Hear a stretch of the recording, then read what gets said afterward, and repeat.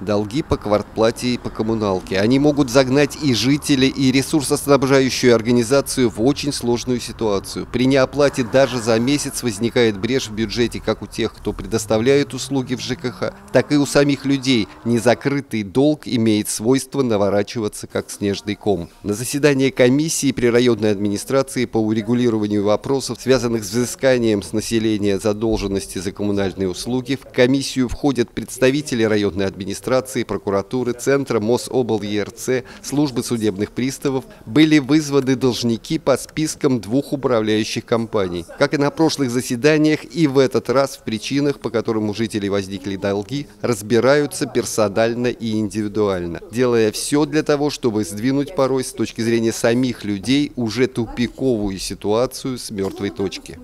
Или же мы им даем возможность реструктуризацию долга произвести с управляющей организацией, сделать анализ этого всего, сделать график погашения долгов и догасить постепенно этот долг. Если мы видим, что это невозможно сделать категорически, тогда мы обращаемся уже к прокуратуре, к судебным органам, обращаемся о том, чтобы долг это в судебном порядке востребовать и начинать уже его гасить через судебных приставов. Елена Галаганова сообщила, что работа комиссии уже принесла необходимые результаты. По итогам прошлых двух заседаний неплательщики, вызванные на комиссию, обратились в свои управляющие компании и согласовали графики погашения погашения долгов. Андрей Цеханович, Сергей Максимов, телерадиокомпания «Щелково».